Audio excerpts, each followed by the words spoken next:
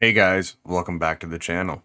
In this video, I show you how we are going to convert a 93 G20 van from a rear drum brake assembly to a rear caliper brake assembly.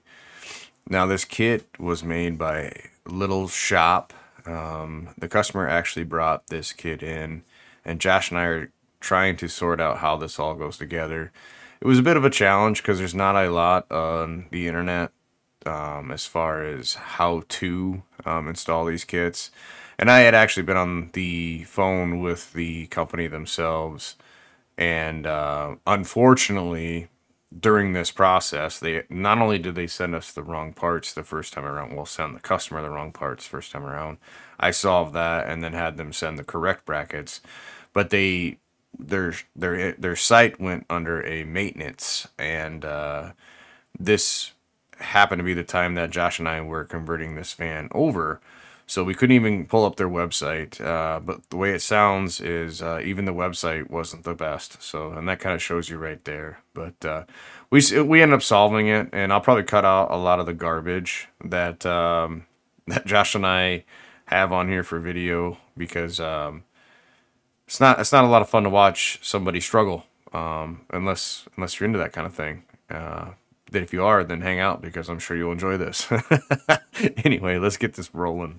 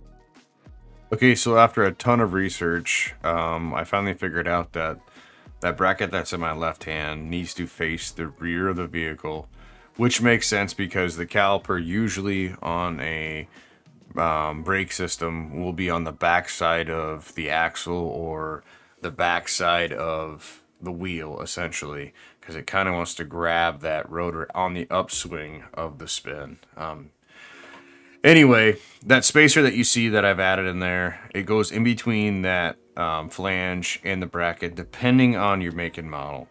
And this particular situation needed to be in there. So we got that installed, and then we get the um, calipers themselves installed along with the rotors. Uh, I will say, after dealing with the kit um, it's a nice kit, don't get me wrong. I do think they use real cheap brake pads. Uh, in fact, in later in the video, I'll kind of show you that we have a um, the right hand side. They didn't put the chafer, like the anti-chafe um, bracket in the in the caliper because they send the calipers with the pads already in them, and they didn't send me that anti-chafe uh, bracket. So when I was uh, field testing this uh, brake system, I got like this weird brake howl um, and I didn't realize it until I got it all back, tore apart again, and I realized that there wasn't the bracket in there, so that's why my um, rotor was starting to make all that noise. I ended up just um, beveling the edges of the pad and then adding my own um, goop in between the pad and caliper itself, and that fixed the problem. I don't know if it's an ultimate fix because it could always come back. Um, but yeah, as far as Little Shop goes, the company, they're not bad. They don't make bad products, uh, but their customer service sucks. Um, I tried getting on the phone with him a couple times, and it was like he was treating me like I was stupid. Um, and then also, they could have sent way more instructions with the kit, which they didn't. And I will say too, if I would have sold this to the customer, I probably wouldn't have actually gone with this company because, um, number one, there's not much support. So number, so so so in that aspect, it's not like I could support um, this company as far as if there was issues. It would be hard for me to back them up, you know. But since I sold the product, then I need to. Uh, but I I just dealt with it because not only is it hard to get this stuff for like a 1993 G20 van, um, he also um, supplied his own parts. So you just deal. You just you just get through it.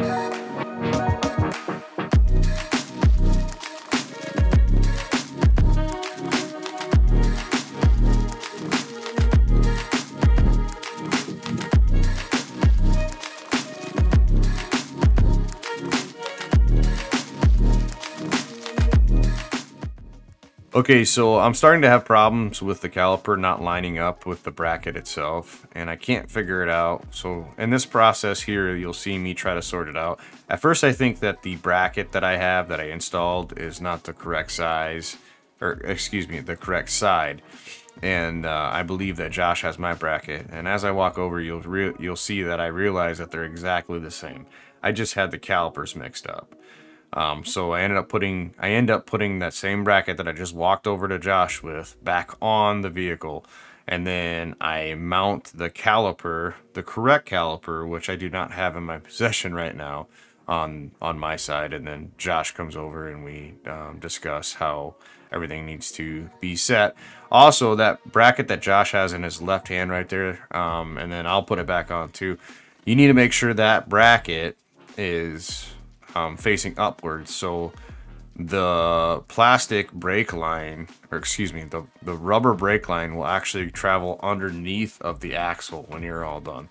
And here I am talking to Josh about how I've sorted it out where I think Josh already kind of did. But I also realized that the brake bleeder um, was upside down. So that's an obvious sign that uh, you have the wrong caliper.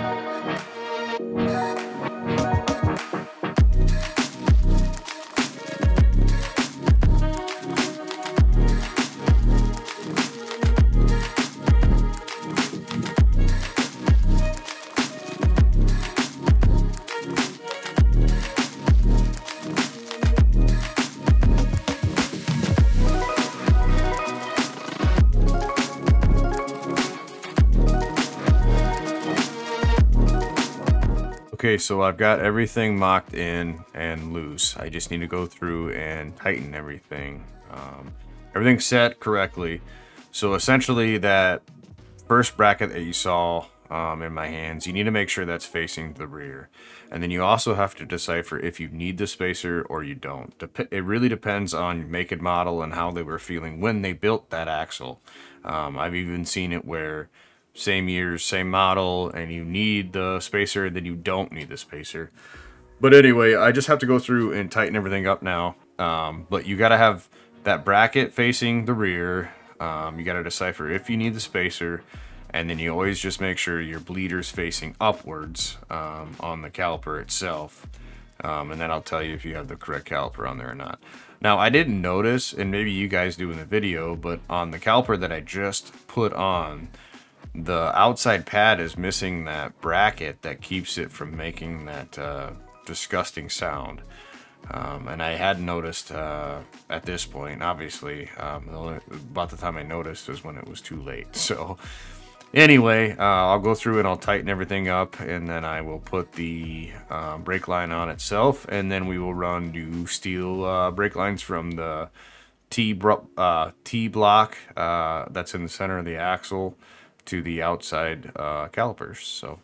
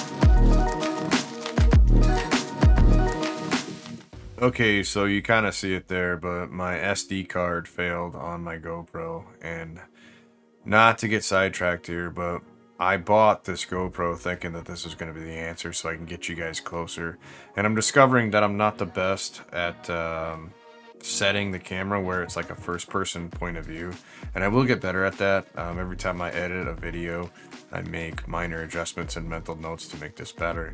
Um, but I have realized like it was like I had to I bought the camera and then they they want a better SD card. And then I tried to do the um, GoPro app as far as making it a webcam for when I'm gaming. And that was broke. Um, and then as long as as long as I use my phone, the app works really well as far as uh, linking to the camera. But if I want to use my PC, it's absolute garbage. Anyway, uh, a little bit of a side rant there, but I was a little disappointed with GoPro. But anyway, let's get back to the task at hand. And as you could see, I'm starting to run the steel brake lines, and I like to just kind of mold it to the old one, which in this uh, as you'll see in the in the video here. But in this situation, it didn't work out the best for me. But typically, if you're running like a long uh, distance on brake lines, if you follow along with the old one, then you can get it kind of close. And uh, eventually, you know, you, you mock it in there and it'll be close and then you kind of make minor adjustments. But this one was a lot different. I don't know if I mixed up the sides or if I was just that terrible about bending it this time around. But uh, it would have been better off if I just laid it in the car.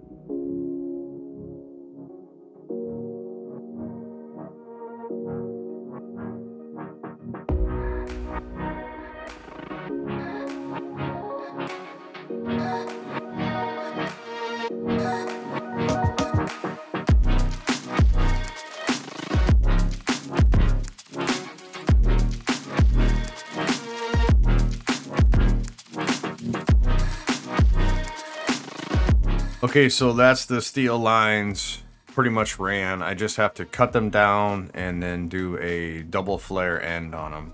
Um, and here you see me grabbing a marker so I can mark the line, cut it, and then flare it. Uh, my GoPro footage isn't the best, so I'll probably switch over to the main cam. Um, someday I will show you guys uh, the exact and proper way to do a flange, uh, but uh, I didn't have the best footage, so we'll just have to deal with the main cam for now.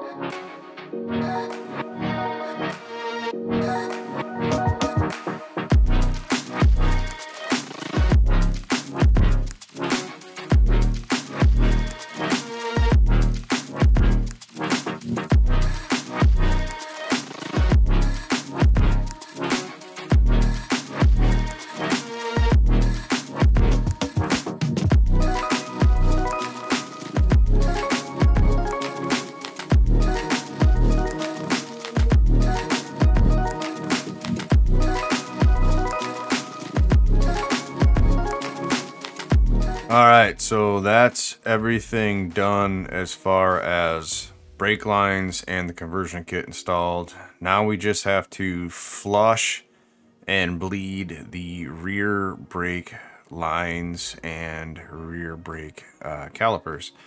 And for this, I have this tool that I bought on Amazon. It's uh, pretty handy. It basically just uh, puts a vac on the bleeder itself. You, you attach it to the top side of the bleeder and then you put an airline on it and you pull the trigger and it's actually got a lock on it and that will put a uh, vacuum um, suction essentially on the brake lines which will pull brake fluid down the line so it also removes um, air but uh, and in return it's kind of nice for removing all the bad yucky uh, brake fluid so you get nice clean fluid all the way through the system here.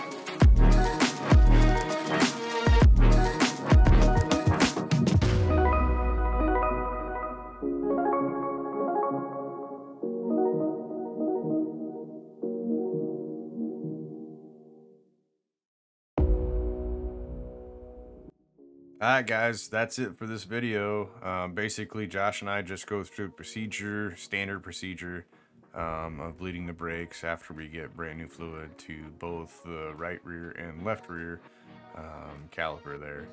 This van has a particularly small um, reservoir, so it took quite a bit of time. We kept having to get out, refill the reservoir. Um, but maybe in a future video I will show you the proper way to bleed brake systems, but uh, that's how you convert a 93 G20 um, Gladiator van from a disc brake system to, or excuse me, a drum brake system to a disc brake system. So that's it, guys. I uh, appreciate your time. Um, hope you enjoyed the video, and I hope to see you in the next one. Bye-bye!